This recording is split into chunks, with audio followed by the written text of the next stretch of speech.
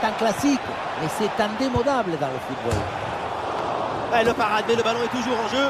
Oh, quel opportunisme Un ballon mal repoussé. Et derrière, c'est bien repris pour faire la différence, pour marquer.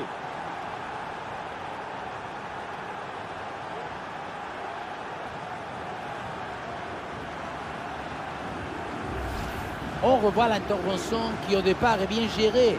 Malheureusement, il contrôle mal le ballon ou alors il lui échappe. Je ne comprends pas bien ce qui lui est arrivé. Ça retombe dans une zone extrêmement dangereuse. Ensuite, la punition.